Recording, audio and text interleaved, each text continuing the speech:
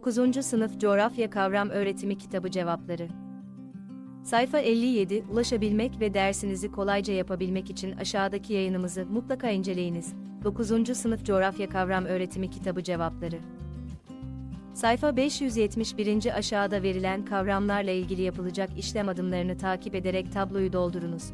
A. Aşağıdaki kavramların tanımını yönergedeki metinden yararlanarak kendi anladığınız şekliyle yazınız. B. Metindeki kavram açıklamasını ilgili bölüme yazınız. C. Kendi tanımınız ve metindeki açıklamaları karşılaştırarak tanımınızın doğruluğunu değerlendiriniz. D. Kavramla ilgili yanılgılarınız olmuş ise bunları düzeltmek için tanımları düzenleyiniz. Cevap: CBS ile doğal ve sosyoekonomik ortam planlanabilir. Doğa olaylarının yönetimi ve izlenmesi, hızlı, güvenilir ve sağlaması yapılacak şekilde kolayca gerçekleştirilir. Risk oluşturacak doğa olayları önceden tahmin edilebilir. Alınacak önlemler sayesinde hem ekolojik bozulmalar önlenebilir hem de maddi zararlar azaltılabilir. İkinci CBS yöntemleri ve yazılımları, doğal ortamların izlenmesi ya da korunmasına nasıl katkılar sağlar?